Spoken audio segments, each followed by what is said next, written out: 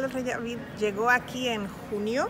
Eh, fue creado el año pasado, aunque creo que esta historia la he llevado en mi corazón por muchos, muchos años. Siempre me ha encantado la historia del Rey David. Eh, es un hombre muy especial, es un hombre que metió la pata eh, por todas partes, hizo muchas cosas que, bueno, que son terribles.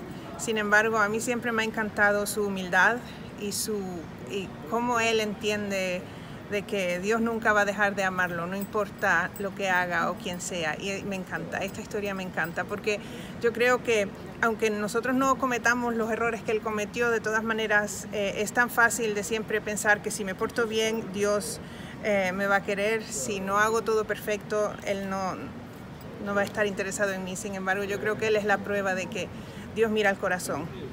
Y me encanta su historia. Lo tiene todo, lo tiene todo. Es acción, es amor, es guerra y eh, sí, es fascinante.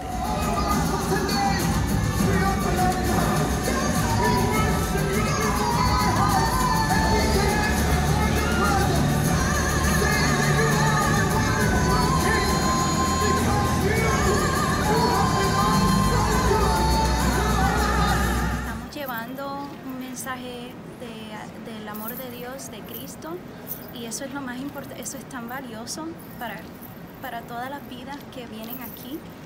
Y sí, es, es, es, es un privilegio y una responsabilidad de poder eh, llevar ese mensaje de una forma con excelencia y pureza también.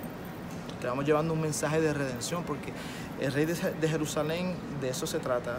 Es, es, es una de las figuras más importantes de la Biblia porque a través de David fue que vino el Mesías. O sea que, que es, es, bien, por eso, es, por eso este show en particular, esta presentación es bien importante.